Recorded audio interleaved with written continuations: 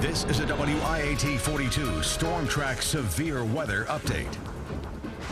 Good afternoon, everybody. I'm Storm Track meteorologist Nate Harrington under a weather alert today, joined by Storm Track meteorologist Ashley Gann and Michael Smith.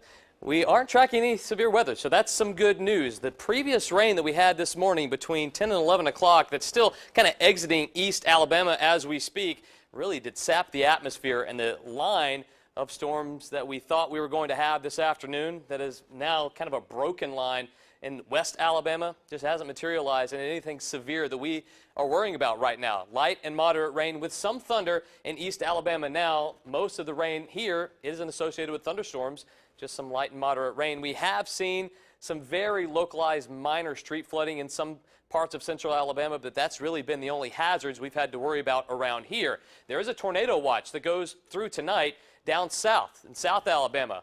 We also have severe thunderstorm warnings ongoing now in the Florida Panhandle in South Alabama, approaching the Wiregrass area. But all of this moving off to the east pretty rapidly. This storm system very progressive in nature. We're not expecting a, a, big flood threat from this, so that's also some very good news. So everything trending toward better news for us as far as the severe weather goes. Not anything right now. We're not looking at anything in the near future. There is a slight chance that we could see a severe storm pop up as the cold front, the actual cold front moves through, but there's just not enough instability in the air for that really to be too much of a risk. So we're not going to give the all clear just yet. There's still a little bit of time for something to happen, but right now, we're on the good side of the ledger. We want to make sure that you download the Storm Track weather app. It's free right now in the App Store or Google Play. Any updates that we give will be sent right to that app. We'll have more around 3 o'clock. Our next update right now, we'll send you back to programming.